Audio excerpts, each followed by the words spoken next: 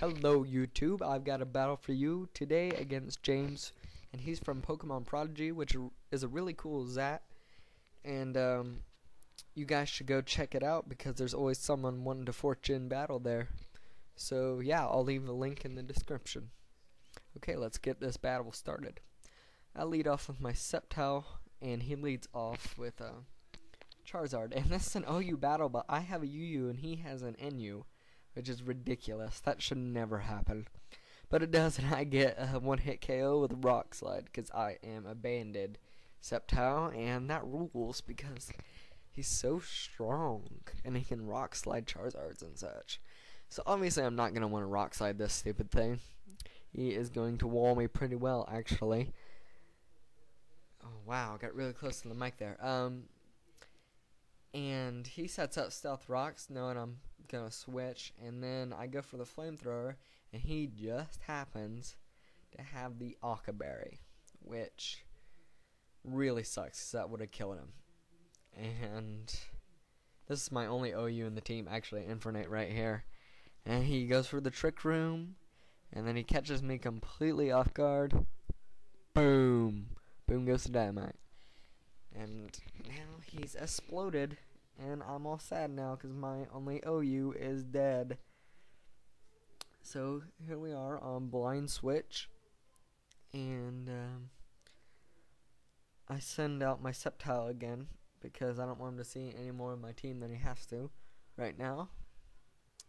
And I forgot all about the trick room already. Yeah, I have memory lapses and he does a meteor mash, and that's gonna kill me, of course. I'm thinking this thing is banded, and he gets the attack. Ah, man, he got an attack raise, which is really, really bad. So, um, I go here into my King Extreme so I can Earthquake him, and yeah, he's not banded. Never mind. But he gets the attack raise, and that's gonna be enough to be able to take out King Extreme, even though he's pretty bulky. At least I think it's in defense. It could be in special defense. I don't know. It, I'm not exactly sure. But yeah, either way, he's dead right there. So I have to send in two Madre so I can stall out this um, trick room because it's starting to wear on me. And I don't like that because my teams usually my teams are usually pretty fast. I mean.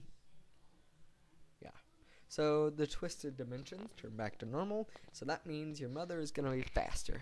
So I set up the wish because I've got a plan. Pretty sure I'm going to get destroyed here by this meteor mash. And um, yeah, I am. That's so true. And I'm dead, and now I've got the plan to send in Crobat because no one ever expects this, no matter who I play. Well, if they played me before, if they've seen my videos, they expect this. But why would I switch in a Crobat willingly onto a Metagross? Why would I do that? Because Heat Wave is gonna kill him. If he would have had Bullet Punch, I think that would have killed me. I'm not too sure with with the attack rates. I think it might have, but that not the point of the story. He got a little too overconfident, and he didn't expect the Heat Wave, and your mother's wish came true. And there we go full health.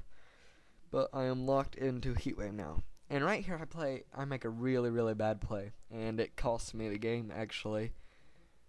Um, I switch into my Typhlosion. I don't know why I did that. But he just Thunderbolts me, and I'm gonna die from that. I don't think I will have died from a Thunderbolt full health. It depends on if he was spexed or not. I have no idea. So, yeah that happens, and I send in my Crobat, and he's definitely not going to be able to live this Thunderbolt, and he's my last Pokemon, so good game there, James. Um, like I said, go check out that Xat. It's uh, a lot of fun, a lot of fun, and it's the best. Yeah, so see you later, YouTube.